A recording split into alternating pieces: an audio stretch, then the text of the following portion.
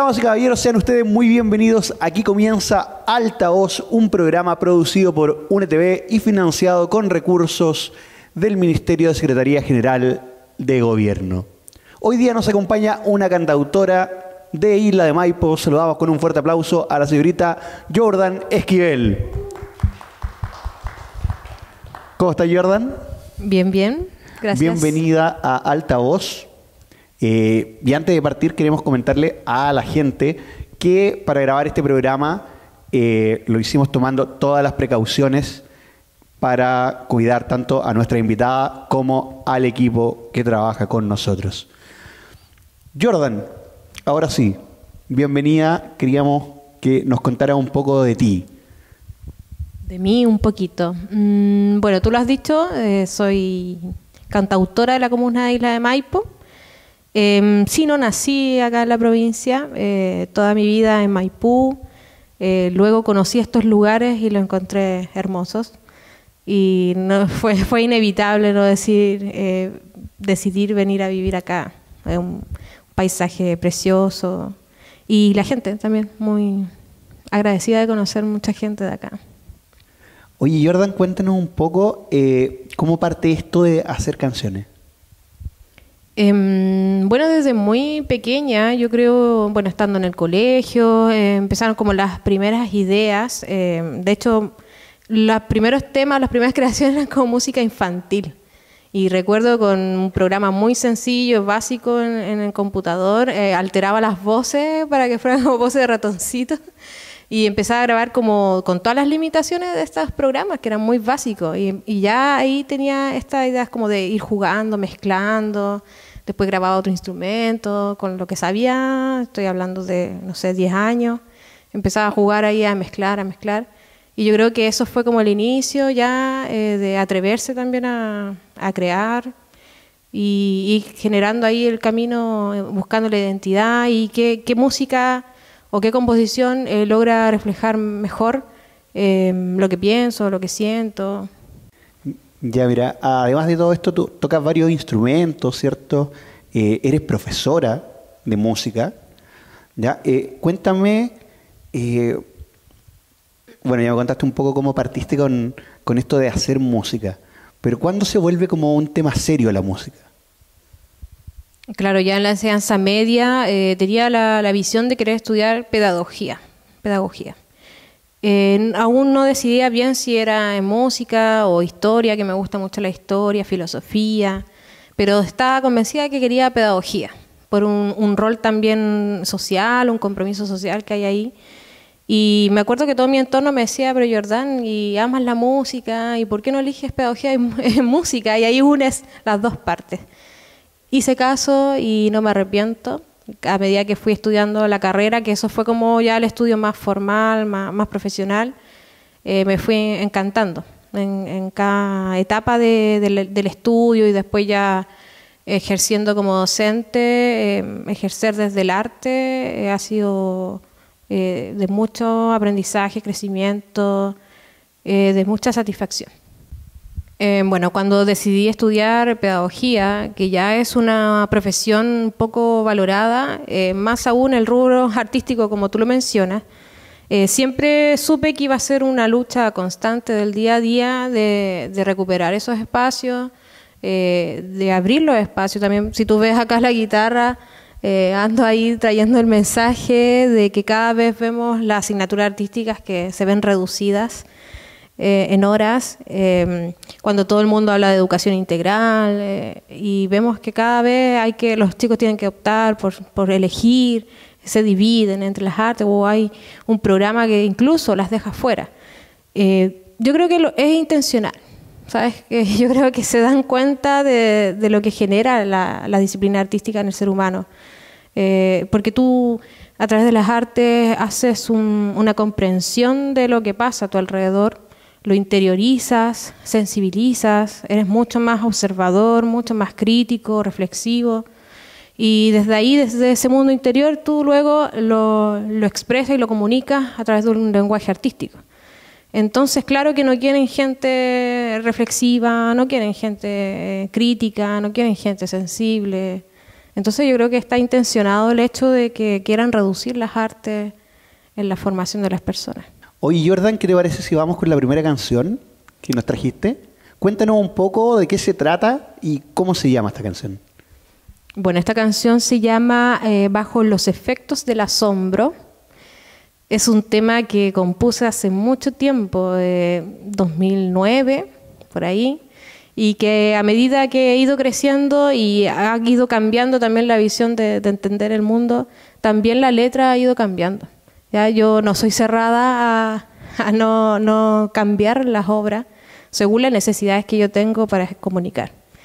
Así que habla un poco de, de, lo que vivimos desde octubre.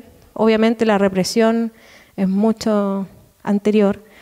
Y habla también de mujer, de, ser mujer, del miedo que uno vive eh, cuando sale eh, en las noches, que, hay que estar cruzando las calles porque no hay luz, la exposición que uno siente.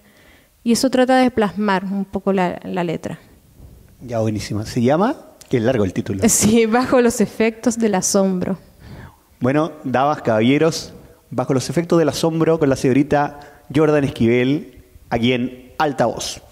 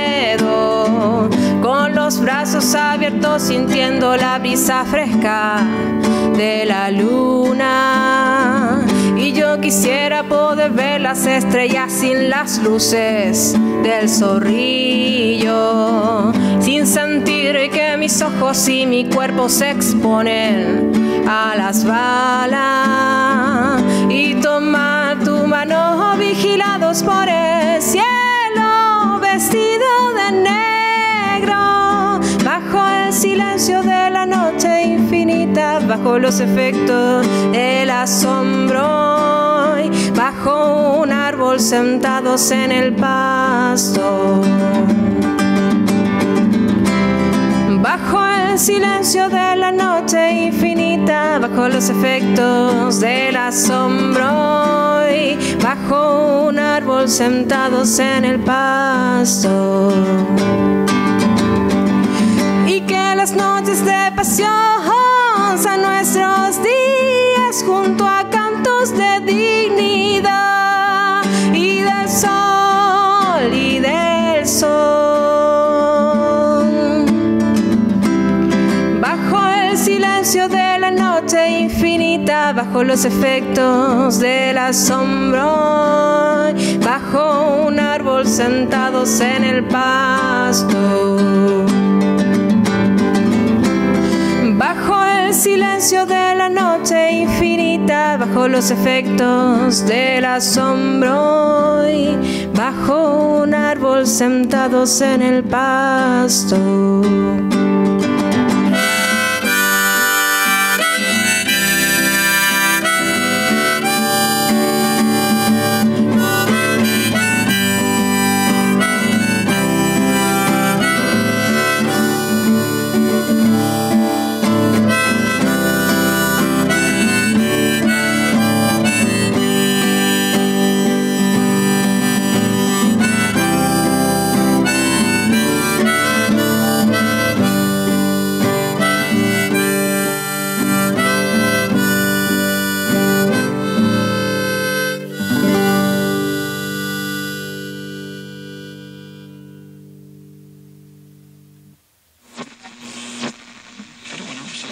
Bueno, damas y caballeros, ya estamos de vuelta con la señorita Jordan Esquivel acá en Alta Voz, un programa producido por UNETV y financiado con recursos del Ministerio de Secretaría General de la República. Ahora te quiero invitar a hablar como la Jordan compositora, eh, la Jordan mujer que se para en un escenario y la Jordan mujer que consigue eh, transmitir y emocionar con canciones que son altamente comprometidas. Bueno, yo veo siempre el arte como una forma, bueno, una necesidad ya del, ser humano de lograr eh, expresar eh, aquello que le inquieta, aquello que requiere y necesita comunicar. Y, veo el arte también como, que a mí me gusta citar a Víctor Jara, porque en una de las entrevistas, así como esta, eh, él menciona y dice que el arte siempre debe ascender al pueblo en conciencia. Eh, no sé, yo no considero eh, bajo la misma mirada o como arte aquello que es como producto del sistema eh, mercantil, de la industria musical. Para mí eso no es arte, es, es, generar para un producto. Y lo artístico va muy apegado a lo, que siente uno, que compone la idea al escuchar la historia, no, no, no necesariamente lo que yo canto es porque lo he vivido yo personalmente, sino que también es porque escucho, observo y me doy cuenta de lo que pasa alrededor en el fondo. Entonces también el arte puede ser un vehículo, un medio para poder expresar eh, lo, que la, lo que la gente les mueve. Eh, la idea es que a través de las creaciones también se sienten identificados pero cuando la gente se emociona es porque le hace sentido lo que uno canta. Eh, bueno, hablaste de este proceso social, ¿cierto? Este despertar que ha tenido Chile. Eh, ¿De qué forma eh, sientes tú que lo que ha pasado de octubre hasta ahora, incluida la pandemia, incluida, ¿cómo sientes tú que ha modificado el panorama del arte, por un lado, y a la sociedad en Chile? ¿Qué opinas de eso? ¿Cuál, es tu visión? Em, bueno, el hecho de, recuerdo, en mes de octubre, noviembre, diciembre, ir a Santiago, acá mismo en la provincia, pero en Santiago es como más, por obviamente la, concentración, y ver las calles repletas de, arte visual plasmado ahí, eh, uno puede hacer una lectura eh, y el arte toma un valor relevante, o sea, ahí se evidencia cómo es un medio de expresión de, la gente, de la sociedad y que ha estado presente en toda la historia del ser humano. Ya por eso podemos ver también, a través del arte nosotros podemos estudiar eh, cómo era lo que se vivía en esas épocas y ahora podemos ver lo, que estamos viviendo ahora. Em, yo espero que, bueno, con las crisis obviamente que nos hagan reflexionar, cuestionar eh, el modo de vida que llevábamos, que llevamos y, espero que de una vez por todas salga el ser humano humano eh, y que tenga como primera instancia el valor a la vida, el respeto, eh, las cosas sencillas. Ojalá que se genere ese despertar también. Todos estamos esperando eso, creo yo. Eh, bueno, se viene, dos canciones vienen ahora, ¿sí? A ver, cuéntanos un poco de qué es lo que vamos a escuchar primer tema que voy a interpretar se llama Semillas de Fuego. Y ese tema fue escrito en diciembre em, del año pasado. Y es una fecha difícil, difícil para quienes, porque yo también he, sufrido la pérdida de, mi padre. Así que es una creación que surge a raíz de, esa falta, esa falta y tristeza eterna, yo creo. Y además de toda la gente que vivió las pérdidas de seres, ya sea en el estallido, ya sea en las dictaduras, porque no hemos vivido solo una, Chile está marcada por dictaduras, por toda la gente que sigue esperando encontrar a sus seres que siguen desaparecidos. Y es un tema que, que habla de eso, desde ahí, desde, desde la falta de la persona eh, sobre la mesa, que siempre va a estar esa silla vacía. Dale, potente. Jordan, el escenario es tuyo. Damas y caballeros, Jordan Esquivel, acá en Alta Voz.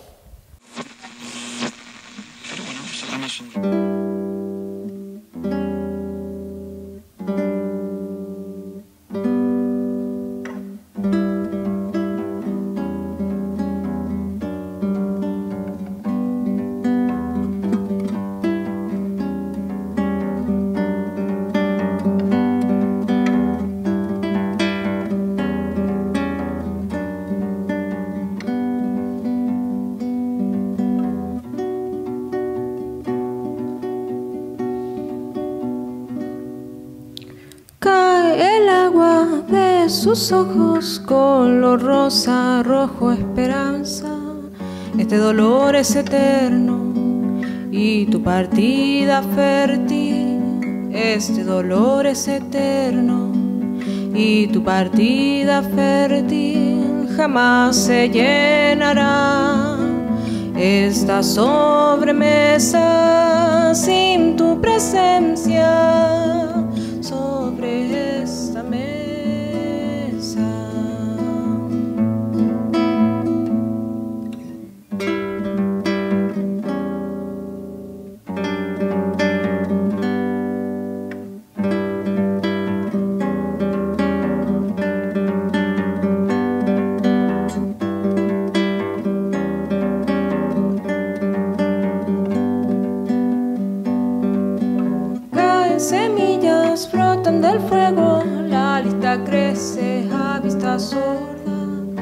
brazos en diciembre, la pena anuda el alma, abrazos en diciembre, la pena anuda el alma, jamás se llenará esta sobremesa sin tu presencia sobre esta mesa.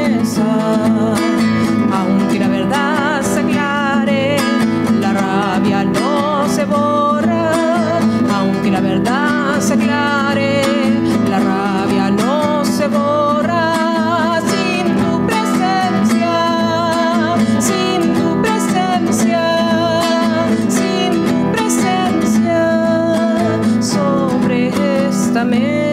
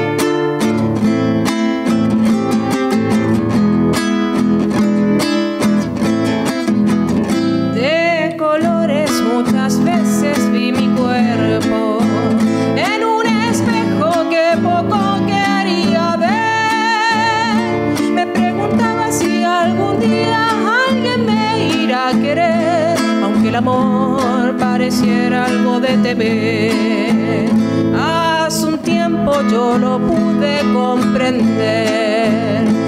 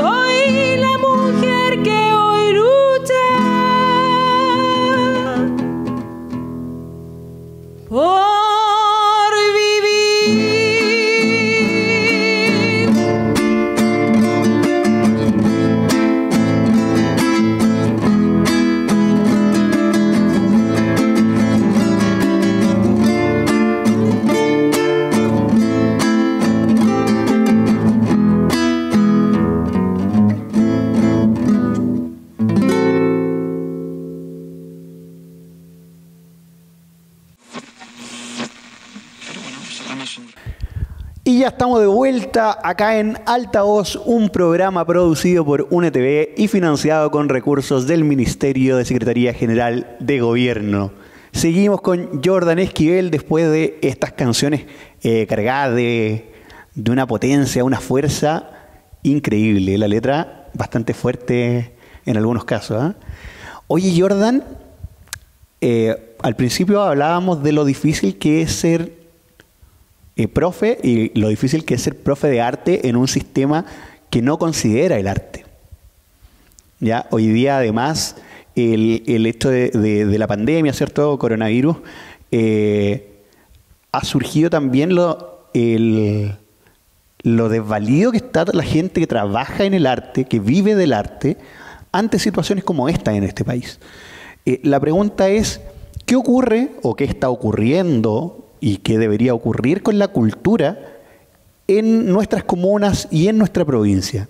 Si hay espacios, si se dan los espacios, si son los espacios necesarios o, si se están otorgando de la forma correcta. ¿Qué qué pasa, por ejemplo, en Isla de Maipo? ¿Qué pasa con Isla de Maipo? Sí, mira, como yo vengo, bueno, llevo cinco años acá, eh, viví toda mi vida en Maipú y cuando llegué a la isla y a la provincia me di cuenta eh, del tremendo potencial que hay. O sea, yo, eh, más allá de la crítica y todo, yo creo que también es importante eh, darse cuenta de las fortalezas que tienen los lugares. Y acá eh, hay una tremenda, mm, bueno, muchos artistas, muchos artesanos, hay mucha escuela de herencia oral, también de transmisión de, de tradiciones, ligado al arte, a la música. Pero sí eh, me he encontrado con autoridades o, gente que tiene quizás el- los cargos que pudieran eh, justamente potenciar esa, esa fortaleza. Yo siento que, bueno, en la isla se han hecho un montón de cosas, pero desde la autogestión, ya desde, lo, desde el espíritu también, que también es para valorar el apoyo eh, eh, colaborativo, el espíritu comunitario, pero desde la misma gente. Entonces se han hecho cosas increíbles desde la autogestión. Eh, piensa cómo sería si tuviera el apoyo, eh, lograr financiar también proyectos, porque en este tiempo de pandemia, la verdad, en la isla, eh, desde los cargos que tienen la posibilidad quizás de apoyar más a los artistas en este panorama, la verdad es que no he visto mucho. Oye, me parece interesante que toque el tema este de la autogestión. Eh, en Isla de Maipo, bueno, en la provincia en general, pero aparecen eh, elementos dentro del círculo artístico, aparece ECOS en una primera instancia, eh, aparece la agrupación de gestores culturales. Me falta algo ahí en el nombre. Artistas y gestores. Artistas y gestores culturales de Isla de Maipo, aparecen los cabros del, mm, de poesía y periferia, hoy día están eh, aparecen la- las mujeres creadoras, las ¿cómo se llama? Vivas creadoras, Vivas creadoras. vivas creadoras, aparecen las, peri- las periféricas, eh, y todo al margen de la oficialidad. ¿Cómo se van generando estos contactos? ¿Cómo va creciendo este círculo? ¿Y cómo se, se articulan? Sí, eso es una de las cosas que también es muy rico de acá, de que, bueno, en comparación con de donde vengo, que Maipú, tremenda cantidad de población. Entonces acá es mucho más fácil poder conocernos, eh, eh, además el espíritu que hay entre quienes generan estas organizaciones es desde la comunidad. Entonces, eh, todos los espacios que se abren es fácil generar las redes, conocernos entre nosotros, apoyarnos, hay mucho apoyo también. Em, y así yo creo que se va como nutriendo, van generándose estas organizaciones. Y tú mencionaste, bueno, últimamente justo con unas chicas eh, cantautoras, creadoras, eh, estamos también generando una organización que sería Periféricas, que hemos hecho también varios encuentros de creadoras antes sin ningún nombre, así como quien organiza. O sea, éramos mujeres eh, que buscábamos abrir espacios donde podríamos compartir nuestros oficios. Em, y lo empezamos a hacer itinerante, eh, no sé, pues, en el monte, en la isla también se hizo, eh, buscamos espacios acá también. Y ahí fuimos armando las redes. Pues. Y así después, hace poquito nomás dijimos, ¿y por qué no nos damos más cuerpo y, ponemos un nombre a la organización y, y vamos abriendo más espacios de apoyo? Básicamente, hoy con organización comunitaria, con trabajo a pulso, ¿es posible generar espacios y es posible generar cultura desde las bases, desde el, desde el pueblo y desde la organización comunitaria? O sea, yo soy de la idea que la cultura somos nosotros, la hacemos nosotros. Generalmente las autoridades tienen esta idea de cuando traen estos programas o de verano y, cultura a tu barrio, la cultura está ahí. No se trata de traer de afuera y que dura un instante y, y chao, no. O sea, hay que hay que potenciar lo que está ahí. Oye, Jordan, te quería invitar, antes que nos despidamos, te quería pedir eh, que le digas a la gente dónde puede escuchar tu música, si hay alguna red social en la que te puedan seguir, eh, bueno, todo lo que corresponde a la modernidad que estamos viviendo. Cuéntanos. Bueno, principalmente eh, Facebook, mi nombre, y aparezco ahí. Porque igual trato de abrir, o sea, en Instagram, como en los espacios virtuales, generar así acciones o subir un tema. Nada tan oficial quizás desde Spotify, eso aún no. Ya que también es todo un tema, mucha burocracia de trámite de lograr subir un tema a Spotify. Pero estamos en eso, eh, estoy grabando también y quiero ahí lanzar eso pronto. Ya, entonces para encontrarte en Instagram y Facebook, Jordan Esquivel como Jordan, pero con una U al medio. Para que la gente caché. Jordan Esquivel. Nada. Nada más. Oye, ¿y la canción con la que vas a cerrar, cómo se llama? Esta canción es una tonada dedicada a todas las mujeres madre y se llama La Tierra como Testigo. La Tierra como Testigo. Bueno, muchachos, yo me despido. Hasta aquí este programa de alta voz y dejo con ustedes a la señorita Jordan Esquivel. Nos vemos. Chao.